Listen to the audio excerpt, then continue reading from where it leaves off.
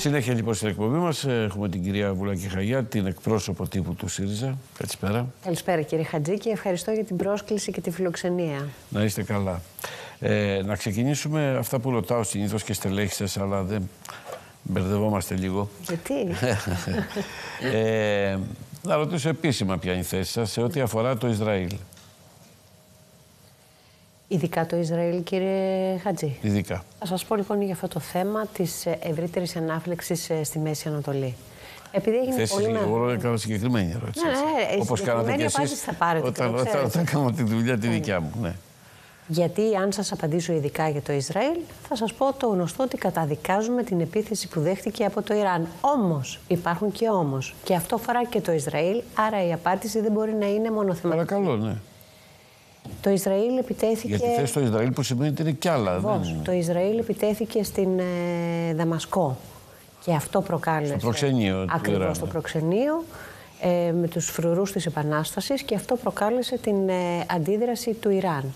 Το Ισραήλ, μόνο ότι έχει διεχθεί, διεχθεί πιέσεις από την διεθνή κοινότητα, από τα Ηνωμένα Έθνη, αλλά ακόμη και από τον πρόεδρο των Ηνωμένων Πολιτειών της Αμερικής, να σταματήσει και να κάνει πίσω σε αυτό το πινκ-πονκ επιθέσεων, λέει ότι θα κλιμακώσει τις αντιδράσεις του και Όποτε θέλουν, όπως είπανε, όποτε κρίνουμε σκόπιμο και όπως εμείς νομίζουμε. Ακριβώς. Βέβαια, απάντησε η Τεχεράνη. Δια του προ... Ακριβώς. Και είπε ότι σε δύο λεπτά θα αντιδράσουν. Θα υπάρξουν ε, αντίπεινα.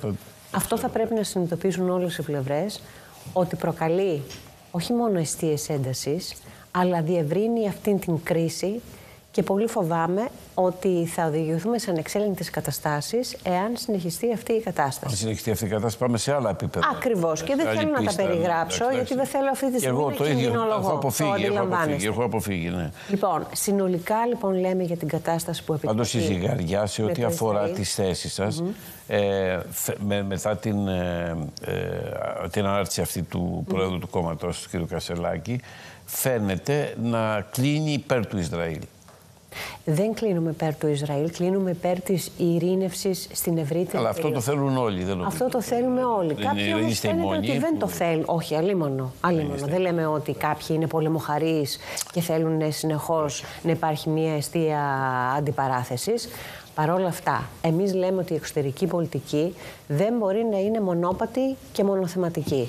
Δεν μπορούμε να λέμε Ισραήλ 10-0, 100-0 και αυτό είναι. Δεν πρέπει να επικροτούμε τη Χαμάς που έκανε ένα τυφλό χτύπημα στο Ισραήλ στις 7 Οκτωβρίου και αυτό το καταδικάζουμε, αλλά καταδικάζουμε και το Ισραήλ που επιτίθεται σε αμάχους και οδηγεί σε σφαγές στη Γάζα. Το αντιλαμβάνεστε αυτό. Κατά συνέπεια μου λέτε ότι κρατάτε μια ισορροπία ανάμεσα στην περιοχή. Δηλαδή δεν κλείνετε προς μια, προς μια πλευρά να την υποστηρίξετε; Κλείνουμε υπέρ της ειρήνης και σε αυτό θα επιμείνω. Κατάλαβα αυτό, ναι, εντάξει, αυτό, αλλά δεν, δεν μου απαντάτε όμως ακριβώς αυτό που ρωτάω. Εμείς θέλουμε να τερματιστούν οι εχθροπραξίες. Πάμε στο άλλο θέμα τώρα που και αυτό έχει να κάνει με εχθροπραξίες στην Ουκρανία. Ο πρόεδρος σας υποστήριξε ότι ε, οι Ουκρανοί πρέπει να κερδίσουν τους Ρώσους. Αυτό δεν το λέει ο ΣΥΡΙΖΑ παλιότερα. Πώς ακριβώς το διατύπωσε, κύριε Πώς το είπε, εσείς θα μας πείτε. Πώς ακριβώς το διατύπωσε, είπε οι Ουκρανοί πρέπει να νικήσουν τους. Ε, αυτό τώρα δεν. Ε, τους Ρώσους; Ε, όχι, ένα λεπτό.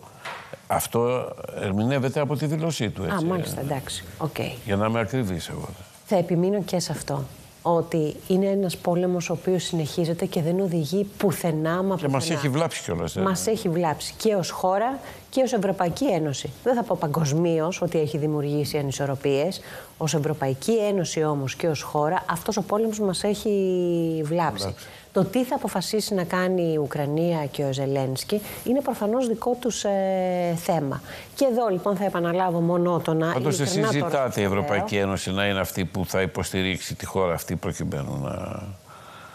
ή όχι; Ε, αυτό εννοούσα προηγουμένως. Βεβαίως. Όσο τροφοδοτούμε και ως Ευρωπαϊκή Ένωση, ξέρετε, τους εξοπλισμούς, τη χρηματοδότηση, η χρηματοδότηση να πάει όχι για πολεμικούς εξοπλισμούς, αλλά για την ανασυγκρότηση της περιοχής, κύριε ναι. Χατζή. Τι συμφωνήσω μαζί σας. Εντάξει, αυτό κάθε λογικός άνθρωπος αυτό θέλει. Πάμε σε ένα άλλο ζήτημα που έχει προκύψει αυτές τις μέρες. Ε, είναι το ζήτημα που αφορά αυτό που ισχυρίζω, δεν ξέρω αν ακόμα ο κύριος Κασελάκης το ισχυρίζεται, αν πιστεύετε ότι θα υπάρξει ε, δολιοφθορά, θα υπάρξει ζήτημα στην καθαρότητα των εκλογών, στο εκλογικό αποτέλεσμα, θα υπάρξουν παρεμβάσεις του τύπου δηλαδή να αλλοιωθεί το εκλογικό αποτέλεσμα στις εκλογές. Συνεχίζετε να καταγγέλλετε κάτι τέτοιο ή εγώ έχω καταλάβει λάθος και δεν το καταγγείλατε ποτέ; Καταγγέλουμε τις μεθοδεύσεις του Υπουργείου Εσωτερικών και της Νέας ε, Δημοκρατίας. Και λέμε ότι εδώ εγείρονται διάφορα ζητήματα. Δεν έχουμε κάνει λογογενοθεία, κύριε Χατζής. Ναι. Κύριε Χατζή, γιατί ναι, είπα κάτι ναι, λάθος. Αν ε, είχαμε στοιχεία ή αποδείξεις, προφανώς και θα τα προβάλαμε και θα ζητούσαμε εξηγήσεις από την κυβέρνηση και αν υπήρχαν 38 στοιχεία θα λέγαμε «Ιδού οι αποδείξεις, παρετηθείτε». Αυτά τα στοιχεία δεν τα έχουμε, άρα δεν μιλάμε για νοθεία. Μιλάμε όμως για προσπάθεια χειραγώγησης του εκλογικού σώματος. Μιλάμε για προσπάθεια αλλίωσης του εκλογικού αποτελέσματος, υπό ποια έννοια της προσπάθειας καθορισμού και επιερεασμού της ψήφου. Όχι μόνο των απόδημων Ελλήνων, των Ελλήνων του εξωτερικού, όλων όσοι έχουν κάνει τις δηλώσεις τους για να ψηφίσουν μέσω της επιστολικής ψήφου. Και εμείς ρωτάμε επίμονα, το ίδιο και ο κύριος Κασελάκης, αυτά τα emails και αυτά τα στοιχεία, τα προσωπικά δεδομένα μπορεί να έχουν, να αφορούν και γηγενείς και Έλληνες που ζουν στην Ελλάδα και θα ψηφίσουν στην Ελλάδα. Απαντήσεις δεν έχουμε πάρει. Ναι. Τι έχουμε μάθει από τη Νέα Δημοκρατία λοιπόν και την κυβέρνηση. Έδωσε μια απάντηση η κυβέρνηση. Προφανώς δεν σας ικανοποιεί αυτό. καταλαβαίνω. Όχι, και δεν μας ικανοποιεί. Ότι έκανε μία έρευνα το Μέγαρο Μαξίμου, διορωτώ με για ποιο λόγο δεν εμπιστεύτηκε την έρευνα του Υπουργείου των Εσωτερικών. Η οποία κατέληξε, μας δείχνει και τα αποτελέσματα της έρευνας στο ναι. Μαξίμου. Αυτά σας σερβίρουμε και με αυτά αρκεστείτε ότι ένα στέλεχος του πρώην Γενικός Γραμματέας του Υπουργείου Εσωτερικών και ένα στέλεχος της Νέας ε, Δημοκρατίας αντίλασαν αθώα email. Τώρα, άρα κατά συνέπεια το ζητάει. Αυτά τώρα δεν είναι σοβαρά θέματα. Όχι, φυσικά δεν είναι. Αλλά. αρμόδια ανεξάρτητη αρχή. Τι Όχι, προφανώς αυτό που έγινε ήταν μείζον σημασίας πρόβλημα. Έτσι. Δεν είναι αστείο αυτό που συνέβη και γι' αυτό και την απέσυραν την κυρία ε, Άλλωστε και το ίδιο το Υπουργείο των Εσωτερικών σήμερα ε, καταδεικνύεται ότι παραδέχεται. Ναι, ναι. Έγινε. Δεν, δεν μπορεί κανείς. Αλλά δεν, δεν μιλάτε ότι για νοθεία. Όμω αυτό ενδιαφέρε το. Δεν έχουμε αυτό, μιλήσει, το, αυτό, κύριε Χατζή, για νοθεία σε αντίθεση με τον ναι. κύριο Μητσοτάκη και συγγνώμη που σας κόβω τον. Όχι, εγώ δεν. Δεν ερωτήσει κάνω, εσείς απαντάτε. Όπως ενθυμούμε το 2019, πριν από τις ευρωεκλογές, ε, τον Ιανουάριο, είχε θέσει ζήτημα νοθείας ε, των ευρωεκλογών, ξέρετε, με τη πρόσχημα. Ένα τουιτάρισμα κάποιου και ένα ε, δημοσίευμα ενός site το οποίο φυσικά δεν είχε καμία υπόσταση, που έλεγε ότι μπορεί η κυβέρνηση τότε του κυρίου Τσίπρα να αλλάξει την singular logic που παραδοσιακά διενεργεί τις εκλογές στη χώρα μας. Και τότε είχε αφήσει πενιγμούς για νοθεία. Ναι, εντάξει. Δεν έγινε νοθεία καμία ούτε τότε, ούτε Μα ποτέ. Δεν, δηλαδή. Καν, δεν υπήρχε σχεδιασμός αλλαγής της Τώρα, ε, αυτοί που ξέρουν και από τεχνολογία ξέρουν ότι δεν μπορεί να γίνει εύκολα αυτό. Δεν γίνεται. Είναι δύσκολο. Τώρα, να πάμε σε ένα ζήτημα που αφορά ε, τη συνεργασία σας με άλλα κόμματα που ε, ε, συνορεύεται, συνορεύεται ιδεολογικά, δεν είστε ακριβώς. Ε, είχε, είπε προημερών ο κύριος Κασελάκης ότι εγώ με το Πασόκ δεν συνεργάζομαι σε επίπεδο ηγεσίας, ούτε με τον κύριο Ανδρουλάκη, αλλά μόνο σε επίπεδο βάσης. Αν κάποιοι θέλουν και θεωρούν ότι εμείς μπορούμε να τους εκφράσουμε, να έρθουν σε εμάς. Αυτό είπε ο κύριος Κασελάκης. Ναι, ναι. Στελέχη σα όμως συνεχώς μιλάνε και αναμασάνε αυτό περί συνεργασιών. Και προηγουμένως έγινε συζήτηση γι' αυτό ναι. με τον uh, κύριο uh, Κουρουμπλή και τον κύριο Τσουκαλά του Πασόκ. Κοιτάξτε. Γιατί αποκλείεται μια συνεργασία των δύο αυτών κομμάτων, Γιατί προεκλογικά δεν θέλετε να δείξετε ότι μπορεί να γίνει κάτι τέτοιο και θέλετε αυτόνομα να πάρετε το ποσοστό που θέλετε, ή είναι στο πίσω μέρος του μυαλού σας, τι ακριβώς συμβαίνει με αυτό; Δεν είναι δυνατόν σε μία περίοδο προεκλογική στην οποία διακυβεύονται πολλά και οι ευρωεκλογές είναι μια αμυγός πολιτική αναμέτρηση, να συζητάμε για συνεργασίες οι οποίες μπορούν να προκύψουν μετά τις ευρωεκλογές ή σε ένα διάστημα ε, πριν από τις ε, εθνικές ε, εκλογές. Αφήνεται ανοιχτό. Όχι, δεν αφήνω ανοιχτό. Ε, Λέω μπορεί να προκύψουν. Εκ των πραγμάτων και με βάση τη λογική και τη στρατηγική κάποιου κόμματος, δεν τίθεται κανένα θέμα προεκλογικής ε, συνεργασίας. Όχι προεκλογικής. Εγώ λέω για μετά, γιατί το επιχείρησε το κόμμα σας αυτό, με την απλή λογική. Και όταν εδώ συζητούσαμε και λέγαμε ότι ρε παιδιά δεν έρχεται το κουκουέ μαζί σας, δεν υπάρχει περίπτωση. Το Πασόκ το απέκλειε. Κατά συνέπεια πάλι μπαίνετε σε μια τέτοια διαδικασία. Δεν μπαίνουμε σε αυτή τη διαδικασία. Όχι. Δεν μπαίνετε. Όχι, okay. ξεκαθαρίσει ο πρόεδρό μας. Τώρα, Γι' αυτό το λέμε για να ξεκαθαρίσει. Κάτω από τη βάση ένα αίτημα να συνενωθούν διάφορες προοδευτικές και δημοκρατικές. Ε, Όχι σε επίπεδο κορυφής πάντως. Όχι σε επίπεδο κορυφής. Αυτό είναι ένα άλλο ζήτημα. Γιατί ο ΣΥΡΙΖΑ θα είναι η μεγάλη προοδευτική δύναμη η οποία μπορεί να συνενώσει όλους τους ε, αριστερούς και κεντροαριστερούς πολίτες. Τι προσδοκάτε από αυτές τις ευρωεκλογές σε ό,τι αφορά τη δυναμική την οποία θα θέλατε να έχετε ούτως ώστε να θεωρήσετε πιο σκληρός αντίπαλος για τη Νέα Δημοκρατία ε, είστε αξιωματική αντιπολίτευση και θα παραμείνετε φυσικά, ανεξάρτητα από το αποτέλεσμα. Αυτό δεν πρόκειται να αλλάξει τώρα. Αυτό αλλάξει σε εθνικές εκλογές, εάν αλλάξει.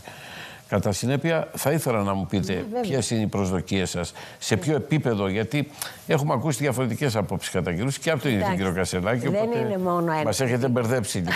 Όχι, θέλω να τα ξεμπερδέψουμε. Να τα ξεμπερδέψουμε. Ναι. Το επίπεδο των προσδοκιών μας δεν είναι ένα και δεν είναι απλό, είναι λίγο πιο σύνθετο δεν προσδοκούμε ένα. Γιατί, γιατί το κάνετε σύνθετο και δεν το λέτε απλά για να το καταλάβει και ο απλός μας Σύνθε... Είναι πιο σύνθετο και δεν αφορά μόνο το ΣΥΡΙΖΑ. Αυτό ήθελα να πω. Α, Εγώ θα μιλήσω απλά και νομίζω ότι. Όχι, εσάς λέω. Εσείς που θέλετε να φτάσετε. Λοιπόν, το ταβάνι. Δεν είναι μόνο αυτό. το εκλογικό αποτέλεσμα που θα φέρει ο ΣΥΡΙΖΑ. Προσδοκούμε το καλύτερο δυνατό και γι' αυτό δίνουμε τις μάχες μας σε καθημερινή βάση. Σε τι επίπεδο είναι το καλύτερο δυνατό, ας πούμε, να περάσετε αυτό το 17%, 18, 20, 25%. Κοιτάξτε. Έτσι όπως βλέπετε τα πράγματα και τα αξιολογείτε. Ο πρόεδρος ε, Κασελάκης έχει πει ότι μακάρι να έρθει και η νίκη και η στόχευση. Καλά, εντάξει, αλλή μόνο θα κατέβει σε εκλογέ, θα πει πάνω να χάσω. Δεν γίνεται αυτό. Με αυτή την έννοια θέλω να υπενθυμίσω ότι ο ΣΥΡΙΖΑ ήταν και παραμένει κόμμα εξουσίας. Άρα η προοπτική της νίκης δεν μπορεί να είναι έξω από, το, από τη στρατηγική μας. Θα συμφωνήσω αυτό για λόγους. Ε, όχι, για, για λόγους πολιτικής τακτικής. Ακριβώς. Τώρα, είναι θέμα. αυτό πρέπει να το δούμε συνδυαστικά, κύριε Χατζή. Υπό ναι. ποια είναι, και εκείνο το σύνθετο που ήθελα να σας πω, ότι δεν είναι το ίδιο η Νέα Δημοκρατία να διατηρήσει το 41% του Ιουνίου και ο ΣΥΡΙΖΑ να πάρει ένα 17-18. Με βάση τώρα τις δημοσκοπήσεις, ε, μιλάμε, δεν βάζω πύχη. Κάνετε σύγκριση δύο διαφορετικών πραγμάτων πάντως. Αν μου επιτρέπετε. Όχι, ακούστε να. Δηλαδή, άλλο οι ευρωεκλογές, άλλο οι εθνικές εκλογέ. Δεν είναι καθόλου άλλο. Ε, άλλο οι ευρωεκλογές. Πάντα. Θα σας απαντήσω. Κοιτάξτε, επειδή, επειδή έχετε θητεύσει τη δουλειά αυτή, δέστε τα αποτελέσματα του 84 και θα καταλάβετε. Να δεχτούμε. Το Πασόκ πόσου. Ε, επειδή εξυπηρετεί την κυβέρνηση να βάζει. Όχι, όχι. Στις προηγούμενες. Ή έχεις συμβεί όλα τα χρόνια. Αυτό είναι. 2019. Που ήταν και εκλογές μετά αμέσως. Είναι 33,12. Συγγνώμη, και μετά ήταν και εκλογές. Είναι ο πύχη. Οι ευρωεκλογέ του 2019, η πολιτική δεν είναι στατική. Εδώ όταν έγιναν δημοτικές εκλογές τον Οκτώβριο είχαν πολλαπλά πολιτικά μηνύματα ναι. και όλοι είπαμε, ήμασταν, και εγώ ήμουν τότε δημοσιογράφος, Το καταλαβαίνω, ναι, ναι. ότι υπήρξαν πολλά χτυπήματα Σύμφωνοι, για την κυβέρνηση του κυρίου Μητσοτάκη. Πάμε τώρα στη... Δεν μπορεί λοιπόν να αναλύουμε πολιτικά τις δημοτικές εκλογές Σύμφωνοι, ότι ε, εσείς θα το εκτιμήσετε. Ο ίδιος ο Πρωθυπουργός λέει όταν μπείτε στο παραβάν θα βλέπετε το πρόσωπό ναι, μου και πίσω από το ψηφοδέλτιο θα είναι το όνομα Μητσοτάκη. Εμείς να λέμε είναι χαλαρές οι Συγγνώμη, μου φύγατε από το πολιτική μάχη. Μου φύγατε από το στόχο και το κάνατε ε, έξυπνα. Το ερώτημα είναι απλό. Ποιο είναι το ταβάνι; Εντάξει, προφανώς όπως είπαμε νωρίτερα, το να θεωρείτε πολιτικά ότι ένα κόμμα δεν πάει στις εκλογές για να χάσει είναι πασίβιλο. Αυτό και ένα κόμμα εξουσία όπως είστε εσείς, είπατε το Πασόκ, πάτε να κερδίσετε πόντους. Πού θα είναι ευχαριστημένος ο πρόεδρός σας και το κόμμα σας και οι ψηφοφόροι σας να φτάσετε; Αυτό ήταν το ερώτημα. Εγώ ακούγοντας τον πρόεδρο, ξέρω ότι θα ήταν ευχαριστημένος αν ήμασταν η πρώτη πολιτική δύναμη. Ναι. Όμως, αν δεν είμαστε στις ευρωεκλογές, οι οποίες, επαναλαμβάνω, είναι αμυγός πολιτικές εκλογές και θα βγάλουμε. Μα πολιτικέ είναι. Τι είναι εκλογές για. Ένα λεπτό. Δεν είναι εκλογές των φίλων, των φίλων της γάτα των Άνω Πετραλώνων. Όχι. Πολιτικές εκλογές. Θα κόμμα στις εθνικές εκλογές, αν δεν είμαστε στις ευρωεκλογές. Ακούω και την κυβέρνηση και διάφορους υπουργούς, ε, κύριε Χατζή, ναι. να θέτουν το θέμα της πολιτικής ε, σταθερότητας. Το ακούω και από τον ε, κύριο Μητσοτάκη, το άκουγα και από τον κύριο. Το αφήγημά τους είναι αυτό, σωστά το ακούτε. Στην ναι. εκπομπή σας, στην ναι, το πρωί, ναι. ραδιοφωνική, ναι. που την ακούω με προσήλωση. Και αναρωτιέμαι, Ταυτίζει η Νέα Δημοκρατία την πολιτική σταθερότητα στη χώρα μόνο με τη δική της παραμονή στην εξουσία; Δηλαδή είναι Νέα Δημοκρατία η χάος; Δηλαδή η πολιτική σταθερότητα είναι μία έννοια η οποία ταυτίζεται με τη Νέα Δημοκρατία και με μία, καμία άλλη πολιτική παράταξη. Εδώ θα ξεχάσουμε όσα ξέρουμε, κύριε Χατζή. Αυτό είναι εκφοβισμός. Αυτό είναι προσπάθεια χειραγώγησης της κοινής γνώμης. Συγγνώμη, αν ακούσατε την εκπομπή, το εξήγησα. Μισό λεπτό, μια ανω... Μια ανωτελεία. Είπα στον κύριο. Είπα στον κύριο. Υπάρξει το χάος στη είπα Στον κύριο Γεωργιάδη, είπα στον κύριο Γεωργιάδη το πρωί, αφού ακούσατε τη συνέντευξη, του είπα το εξής.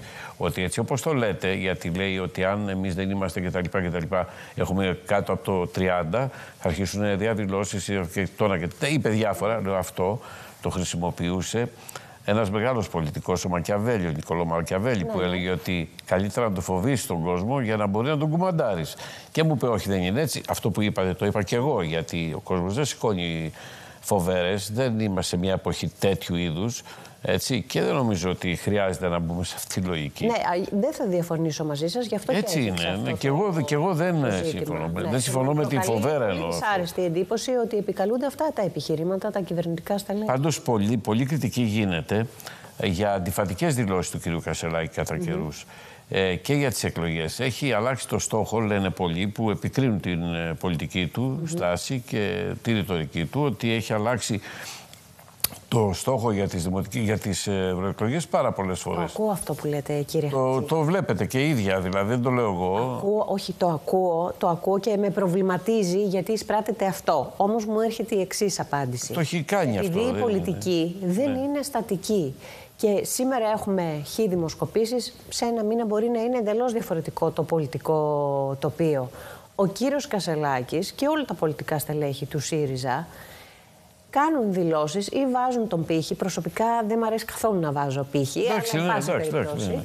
Ε, με βάση τα δεδομένα που έχουμε ανα πάσα στιγμή. Σας θυμίζω και κάτι το οποίο δεν είναι και ευχάριστο για κανέναν από εμάς που είμαστε και στηρίζουμε την προσπάθεια στον ε, ΣΥΡΙΖΑ, ότι μόλις πριν από 1,5 μήνα, μπορεί να λέω και πολύ, 1,5 μήνα, είχαμε ένα συνέδριο που υπήρξαν πολλές αντιπαραθέσεις, είχαν μεσολαβήσει πάρα πολλά και ο ΣΥΡΙΖΑ με βάση και τις μετρήσεις της κοινή γνώμης ήταν είτε λίγο κάτω από το 10% σε μονοψήφιο, ένα επίσης οδυνηρό αποτέλεσμα δημοσκοπικό, είτε λίγο πάνω από το.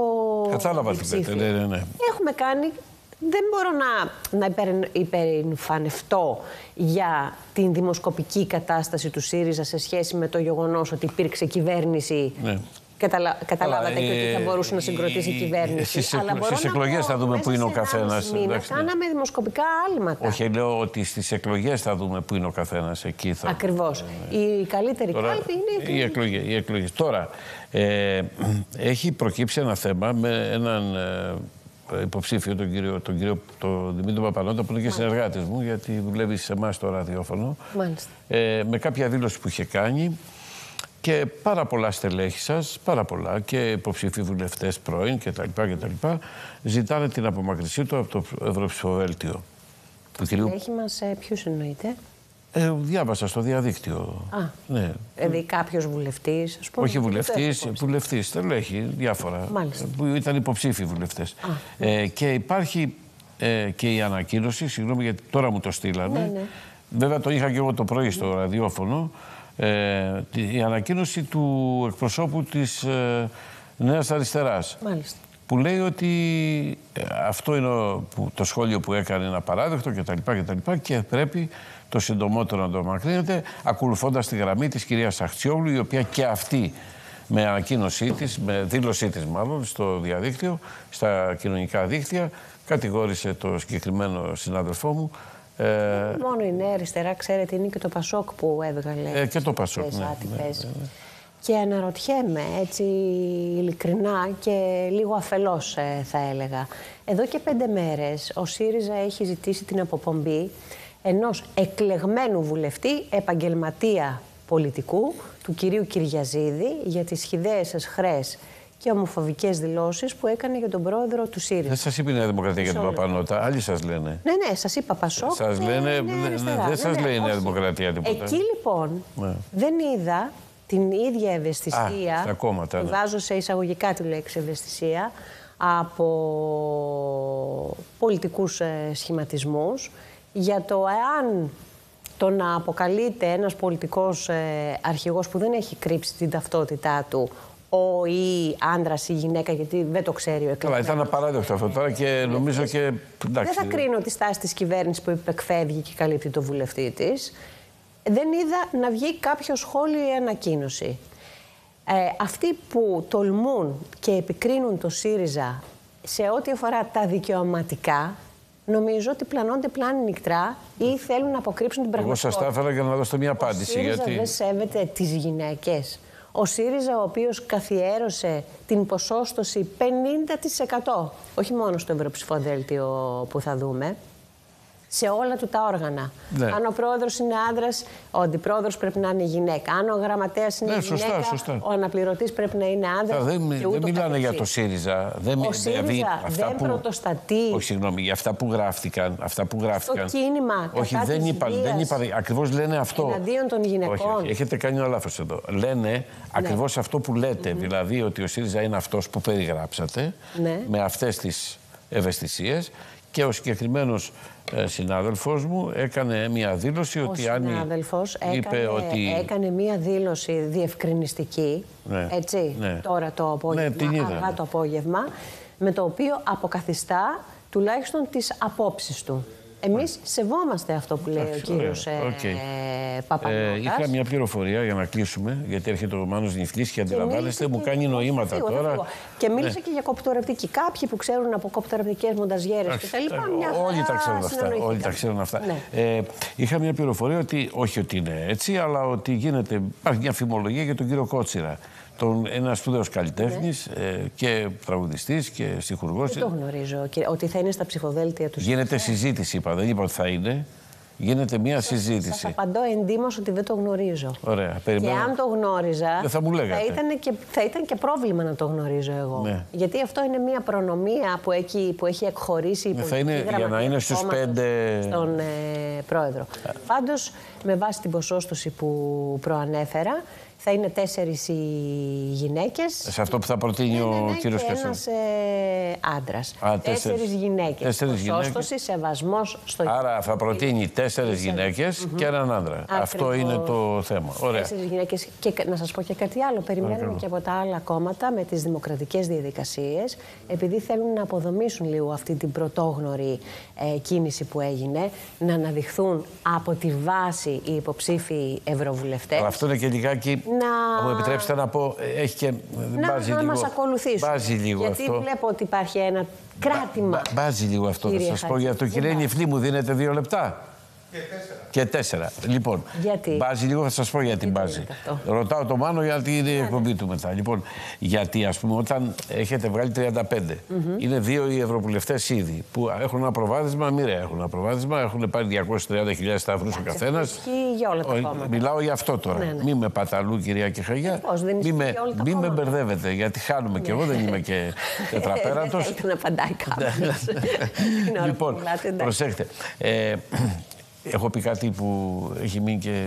Έχει γραφτεί στην ιστορία; Έχει γραφτεί στην ιστορία. Μην με διακόπτετε, αφού σας έχω διακόψει εγώ. Έτσι. Εντάξει. Εντάξει λοιπόν, ε, ε, είναι οι δύο ευρωβουλευτές. Είναι και οι πέντε που οπωσδήποτε θα προτείνει ο κ. Κασελάκης και Προφανώς, όταν ο πρόεδρος προτείνει πέντε ανθρώπους, τους προτείνει για πλάκα, τους προτείνει γιατί θεωρεί ότι πρέπει να είναι στο Ευρωκοινοβούλιο. Δεν τους προτείνει ούτε γιατί τους γνωρίζει, ούτε γιατί. Γνωρίζουν κάποια πράγματα. Ε, αυτό θέλω να πω. υπάρχει και ένα Άρα είναι 7. Θα βγάλετε 7.